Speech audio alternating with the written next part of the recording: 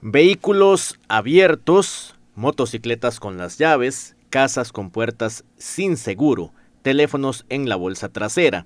Son comportamientos que identificó la fuerza pública en Pérez Celedón y que favorecen el accionar de los delincuentes. Siempre el llamado a la población que cuidemos, que no seamos tan descuidados. El costarricense por lo general es muy confiado y este, dejamos el carro abierto, dejamos inclusive la casa en veces abierta, dejamos la llavecita por ahí una matita y ya el delincuente lo sabe, que por ahí busca y encuentra la llave. Entonces, eso es lo que más se da el hurto. Inclusive, vamos a, este, a un negocio o a un lugar o un restaurante y dejamos el celular en la mesa para ir al baño. Entonces, eso es lo que se da mucho, el método del descuido.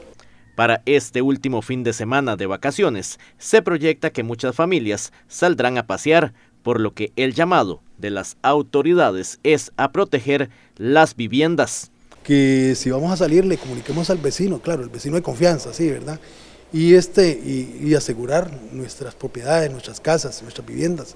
Y ahora hay muchas, mucha tecnología, hay cámaras, este, podemos pagar un guarda de seguridad que nos cuide, un amigo que nos cuide esos días que vamos a estar vacacionando en las playas, en otros lugares del país. Entonces, este, aprovecho el medio para hacer ese llamado para que nos cuidemos y no seamos este, víctimas de la, de la delincuencia. Consejos importantes que vale la pena tomar en cuenta para evitar ingresos a las estadísticas de la delincuencia.